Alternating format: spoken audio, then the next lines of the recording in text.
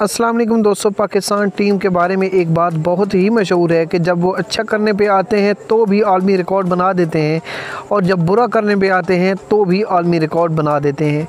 آج کچھ ایسا ہی ہوا ہے، پاکستان نے بیٹنگ بہت اچھی کی ہے، لیکن فیلڈنگ میں انتہائی ناقص نظر آئے ہیں۔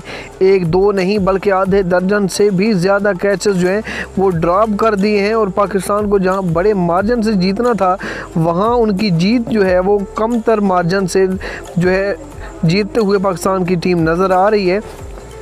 دوستو، پاکستان کے جب فیلڈنگ کا وقت آیا تو پاکستان نے تیسویں اوور کے بعد تقریباً پچیس سے چالیس اوور کے درمیان جو ہے، سات کیچز جو ہے وہ چھوڑ دیے ہیں۔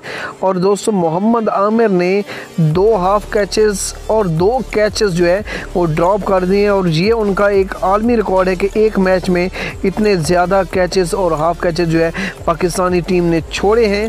اور وہ بھی صرف اور صرف کیچز جو ہیں وہ پاکستان ٹیم چھوڑ چکی ہے۔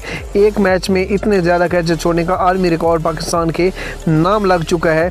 تو آپ کیا کہتے ہیں؟ اپنی رائے کے ظاہر آپ نے لازمی کومنٹس میں کرنا ہے چینل کو بھی سبسکرائب کرنے اور ویڈیو کو لائک اور شیئر بھی لازمی کر دیں۔ اپنا خیال رکھیں میں اجازت دیں۔ اللہ حافظ۔